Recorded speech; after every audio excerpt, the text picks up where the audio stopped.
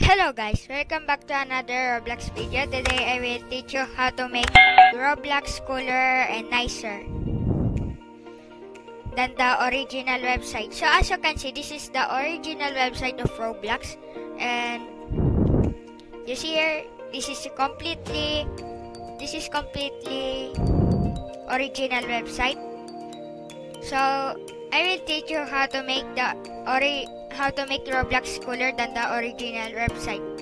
So, you wanna do is search roblox.plus. Make sure this is not com, okay? This is plus. And you wanna go right here. You are you are already here in the website if you search roblox.plus. And you will you will press this button, this add to Chrome. And this one. Let's add it. Okay right here. So now let's refresh this website. And now you have this one. And this this one they're best if player get got a RAP or collectibles. So for example I'm going to my profile and I will copy my my profile ID and paste it right here. And as you can see, I don't it reveals my collectibles and RAP. I don't have any RAP and collectibles because I don't have any limited items. So the next is you need this one. BTR uh, Roblox making Roblox cool, I think.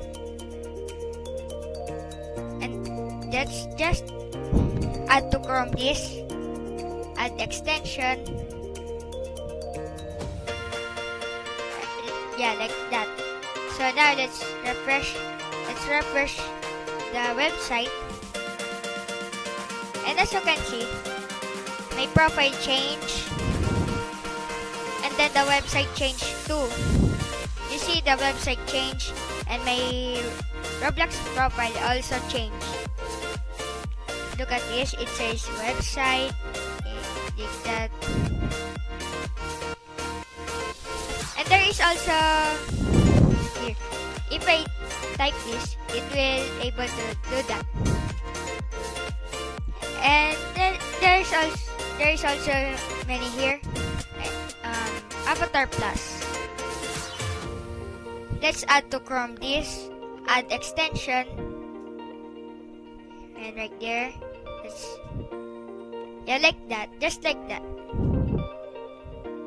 So if we go to Avatar Shop and press all categories, and we will buy buy something, or I mean,